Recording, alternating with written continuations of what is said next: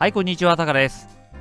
えー、昨日ですけど、ちょっと動きなかったですかね。えー、普段と比べれば、まあ、そんなにこう動かなかったというわけでも決してなかったとは思いますけどね。えー、ただ、昨日に関してはその前の日、えー、おとといですね、日銀のこの発表で円の方がよく動きましたからね、その大きく動いたというのが基準になっていますんで、えそうなってしまうと昨日というのは動きがなかったというふうになってしまいます。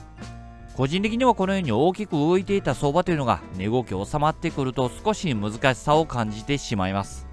トレードをしていくんであれば、えテーマというのは波のサイズ感と、えあとはどういった波を意識してトレードをしたいのかというところを明確にするところじゃないですかね。えそのあたりをチャートの方から見ていきたいと思います。えまずこちらがドルインデックス、1時間足に冷やしを重ねています。このドルに関してはちょっともう動きなくなってきましたね。クリスマス休暇前に一つ波があってもいいのかなと思ってはいたんですけども、このまま行くと決着つかずに、まあ、休みということにもなってはきそうです。こういったレンジを見ていくんであれば、現在地がレンジの真ん中。おとといですけども、やっぱり円の影響でね、少しドルも動いたんですけども、え昨日はその高 S を抜けていませんのでね、え少し方向感がなくなってしまっています。もともとこう高安を抜けていく動きというのがしばらくないですからね、まあ、見ていくんであれば、まあ、今見ているレンジの高値付近もしくは安値付近でのプライスアクションに注目ということになってきますけども、まあ、今真ん中ですからねこれだけを見ても、えー、ドルに関しては少し難しい環境だと思います。まあ、無理をするような状況ではないと思いますね。まあ、特にドルソなんかは本当にもう動きなくなってしまってますんでね、えトレンドを期待してしまうと高安を掴んでしまう。高値でロングしたりとかね、安値でショートしたりとか、えそういうところにつながってしまうと思いますんで、え十分注意したいですね。まあ、ドル絡みの通貨は基本的にはまレンジをしっかり見ていくことになりますから、まあ、逆張り気味にそばの葉を見ていくことになるかなと思います。はい、えー、そしておととい、えー、よく動いた円ですけども、これも流れが止まりました。えー、貯金高値を抜けた強い上昇に対して、えー、昨日は流れが止まってますね、えー。自分の場合はもうトレンドの継続を考えてはいきますけども、まあ、このように流れが止まってくると調整局面見ていくことになります。すると、まあ、トレードしていくんであれば、まあ、調整レンジの高値安値、えこれがある程度見えてこないとなかなかまあトレード難しいんですよね。えですから、まあ、こういった大きなトレンドが収まってくると、個人的には少し難しさを感じてしまいます。高安が見えてくるにはどうしても時間かかりますからね、その間はもう短期足で、見ていくしかないわけですけども、この短期足というのがくせ者で、上位足の抵抗体というのを短期足で抜けてきますんでね、えただその抜けた動きがトレンドにならなかったりということが、まあ、短期足で起こりますので、まあ、その辺をどう見ていくのかというのが難しいところですかね。まあ、ひとまず円相場に関しても一旦流れが止まりました。え調整局面を見ていくことになりますけども、まだまだボラも出やすい状況だと思います。え昨日の高安、抜けてきても特に驚きもないわけですけども、それがトレンドになるかどうかというのが分からなくなってしまいましたんで、まあ、高いところを買ったり、安いところを売ってしまったり、えそういったのは気をつけたいところですね。まだはっきりこう高安が見えていない冷やしレンジを意識しながら、え高値圏の売り、え安値圏での買い、えこういったのを今日は見ていくことになるかなと思いますね。はい、変わりまして、こちらが通貨の強弱チャートになります。えー、おとといのこの日がよく動きましたんでね、えー、全然動いていないように思いますけども、それなりに実は動きはあったように思います。ただまあどうしてもこの日が基準になってしまいますんで、まあ円なんかも全然動かなかったということになってしまいますけども、えー、ただま若干流れは見えてきたんではないかなと思いますね。まあ一つ5ドル、え、昨日強かったわけですけども、これに関してはおととい売りが入りましたんで、え、この売りに対しての買い戻し、まあ調整の動きに過ぎないかなとは思いますから、え、この動きだけをもって5ドルを買っていこうと僕はあまり思わないですけどね。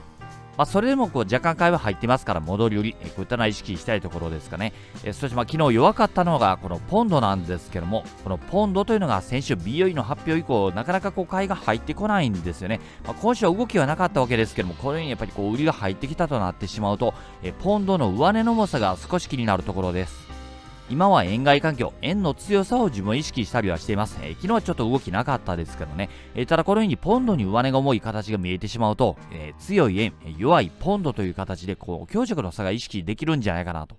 まあ、つまりはポンド円の上値の重さが少し見えてきたんではないかなというところですかね。えー、あとは逆にま底堅い動きをしているのがユーロ。これも ECB の発表以降なかなか売りが入ってこない状況を続いています。まあ、しっかりこう買いが入ってきたというわけではないんですけども、まあ、売りが入らないというところにまあ少し注目をしていくんであれば、まあ、強いユーロに対して、ま強い円なんかを見てしまうと動きは鈍くなってしまうかもしれません。まあ、昨日は調整の動きで終わった一日だったと思いますけどね、えただそれでもこのポンドの弱さであったり、ユーロの強さ、えこういったのは見えてはいますので、ドルや円の方に動きが出てきた際には、ユーロやポンドの強弱を見ていくというのはね、まあ、少し面白いとは思いますね。僕はまだこうクリスマス休暇前のえもう一波ぐらいはね、こう期待してみたいところではあるんですけども、どうなりますかね、注目をして見ていきたいと思います。相変わりまして、こちらがドル円の4時間足、週足を重ねています。えこのドル円ですけども、週足、え今週サポートを割りつつあるんですよね。え割値ベースで見ていくともうすでに割ってはきていますから、えこの動きが戻されるかどうかというのが大きなポイントにはなってくるかと思います。え戻されてしまったら再度このサポートが見えてしまいますんで、ショート勢にとっては少し嫌な動きなんですよね。自分としてはもう円高局面を今は見てますから、ショート、ショートで流れを追いたいなと思うんですけども、こういったショート目線見ている人にとっては、このサポートはすごく邪魔な存在だと思います。週足確定まで残り2日間、この2日間で買い戻しが入ってくるかどうかというのが大きなポイントにはなってはきそうですね。はい、こちらが1時間足、冷やしを重ねています。え冷やしでもレンジが見えているわけですけども、えレンジから下の方にブレイクした流れが見えてます。えただこの動きが一旦止まってしまったんですよね。え短期的な調整局面が見えてきたのかなと。ただ、それでもこう、下への流れは見えてはいますしね、え売りのトレンドなんかも見えていますから、え基本的に戻り売り、え見たいなと思いますけども、この戻りはあまりにも強く戻ってきてしまうと、え先ほど見た週足ですね。週足サポートがこの辺りにあるわけで、えこの週足サポート、まあ、上位足のサポートになりますんで、え短期足、まあ、日足は短期足になりますんでね、えこの短期足は少し抜けたりはするんですよね。これが戻されてしまうと上位足で見ていくとブレイクの形になりませんのでね、ショートを見ていく根拠というのがだいぶ薄くなってしまうんですよね。下落トレンドは確かに見えてはいるんですけども、この戻される動きに対しての戻り売り、これは十分気をつけたいところです。僕は今この調整レンジを意識してますんで、このレンジの高値、戻りの高値ですね。こういったのをまず見つけていくのが最初の仕事。戻り売りを見ていくには、この壁を見つけていかないといけないわけですけども、例えば今日、え昨日の冷やしの高値をあっさり更新なんかしてくると、え少しこの青い戻り、えこういったのが見えてきてしまいますんでね、えショートは見たいなと思っていますけども、えこういった値動きに注意はしたいですね。はい、こちらが15分足、4時間足を重ねています。えー、こういった環境で短期足見ていくとサポート割れた売りのトレンド、現在流れが止まって調整局面、レンジの高安が少し見えてきましたかね、まあ、特にこの戻りの壁、132円の、まあ、2030、えー、もしくは真ん中あたりですかね、このあたりにもなんとなくこう抵抗体は見えてきそうだなと、えー、そういう流れが見えてはきています。上位足でも見たように僕は戻り売りを見たいなと思ってはいるわけですけども、例えば今見えてるこういった抵抗体、上の方に抜けてくると短期的な上昇トレンド見えてきますよね。もしこの波の反転見ていくにはどうしてもやっぱり時間かかりますんで、今週残り2日間ですよね。木金でこの戻りが強く入ってきてしまうと、この戻りというのは週足環境で見た際のヒゲの部分に当たってしまうんですよね。上位へしても見たようにこの辺りには週足サポートがあって、今は抜けてきているわけですけども、これがまだ確定してないわけですよね。ショート勢にとってはこの戻りが入ってきてしまうと上位足で見た景色というのがあまりいい景色ではなくなってしまいますんで僕も今をかなりこう売り場を意識して値動きを見てはいるんですけども売る場所、売るタイミング、こういったのは神経使って見ていくことになりそうですかね。え自分なら132円の真ん中あたり、この抵抗を抜けてくる動きに対してのショートは少し控えていこうかなと。えー、ショートしていくんだら、ここは抜けてほしくない抵抗体にはなっておきそうです。であれば一旦まあこの辺りバックにショートを意識ということになりますかね。今よく動いてるのは円相場だと思いますので、まあ、普段はなかなかこう東京市場って動きは鈍いと思いますけどもね、えー、まあ今日明日あたりはこの東京市場にも注目はして見ていこうかと思います。強い戻り、こういったものに警戒はしながら、まずは売り場を探っていこうかと思います。はい、変わりまして、こちらがニューヨークダウの CFD、1時間足に冷やしを重ねています。えー、ダウなんですけども、こう、買い戻しが強く入ってきましたけどね、えー、ただこれサポート割れてるんですよね。まあ、シンプルに考えれば下落トレンドの戻り、えー、調整の戻りということになってくるんで、えであれば戻り売り、見ていくことになりますかね。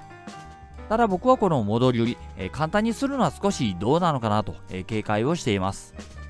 まあ、その理由というのが週足環境なんですけども、えこちらが4時間足、週足を重ねています。えこの辺り、まあ、抵抗にはなっていそうですね。3万4000ドル、え上昇トレンドが止められたということになりますんで、え調整局面、見ていくことになります。